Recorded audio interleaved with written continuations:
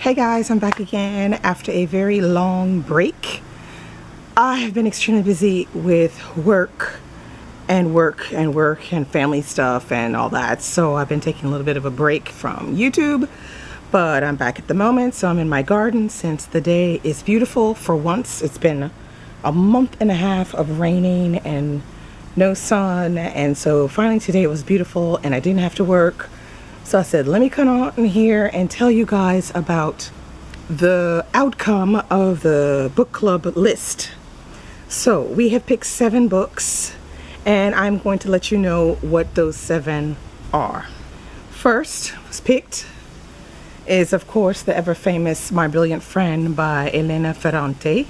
This you see everywhere online so you know what it's about and yeah so I don't really know if I'm happy about this or not. I did vote for it though because I think I've got to you know sink my teeth in it and see what it's really all about.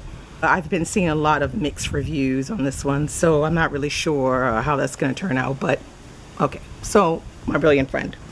Next on the list the bees by Laline Paull which I'm pretty happy about this one as well. I did vote for this one. And I have been uh, pretty anxious to see what's inside so I don't know maybe I might crack and read it before the actual month that we're supposed to read it. I think this is the third one we will be reading the second or third book we'll be reading so maybe October or November for this one. Next on the list I will put the book here. It's uh, Saving Fish from Drowning by Amy Tan. And as you know I have not read any Amy Tan so this will be my first one hopefully it will be just as good as the Joy Luck Club because when you mention Amy Tan, everybody mentions right away the Joy Luck Club. So hopefully it will be just as good, if not better. I'm not really sure what it's about. And I think, I'm not sure if I voted for this one or not. I can't remember. Next on the list, Americana. So yes, Americana did get uh, picked, which I figured it would. Great story. I've already read it, but I think I might actually delve in and read it a second time. I don't think we'll be reading it in September or October or November, so this will probably be for next year, which should be a good time for me to reread Americana. So there, that's a good one, right? Next on the list that got picked is Family Life. This is by Akhil Sharma and the book just came today and so here it is. Now this one it says for eight-year-old Ajay and his older brother Birju life in Delhi in the late 1970s follows a comfortable predictable routine bathing on the roof queuing for milk playing cricket in the street. Yet everything changes when their father finds a job in America. A land of carpets and elevators swimsuits and hot water on tap Life is exciting for the two brothers as they adjust to prosperity, girls, and 24-hour TV until one hot sultry day when everything falls apart. Okay, it says darkly comic family life is a story of a boy torn between duty and survival amid the ruins of everything he once knew. So yeah, I voted for this one and thank God it made it on the list. So yeah, I'm really happy about this one having uh, been picked. Next on the list, Jam on the Vine. So yeah, Jam on the Vine managed to make it uh, the cut and I'm very happy about that and yeah. So people seem to be very curious about this one and I'm really happy about it because I was afraid it wasn't gonna make it. Last but not least Paris by Edward Rutherfurd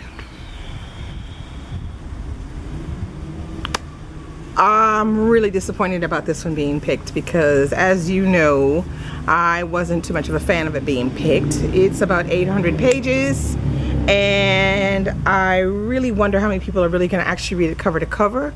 But surprisingly enough eight people voted for it. Eight I don't know what I'm going to do. I might have to get the audiobook to go along with it to just drive me through the book. So, Paris will be our first read of the school year of 2016-2017, which means that we will be reading it first. So it will then be something I have to read during the summer in August or the very first two weeks of September. I'm not a fan of that because I feel like it's gonna ruin my reading uh, that I have planned and I'm not too happy about that. So I have asked around a few people to find out if they had read anything by Rutherfurd. I asked Steve over at Steve Donoghue and he said, mm-mm, nope. Reviews that I've seen, nope, nope. Too much, too much, too much, too much packed into one book. So I don't know. We will see, uh, but I will figure out a way to read this 800 page book. Maybe I'll just do like 20 pages a day for the whole month of August or something like that. Which means I have to take this big chunky book on holiday with me. And I'm already taking a whole bunch of other books, but I don't want that one, you know, this 800 page, you know, brick to take on holiday when I'm already going to be taking maybe like 10 books or something like that on holiday with me. So I'm a little disappointed about that one being picked because I just, I just, yeah, I didn't really want to read it. Now, unfortunately, Till the Well Runs Dry did not get picked, but I'm not going to complain because Jam on the Vine got picked, so I'm happy about that.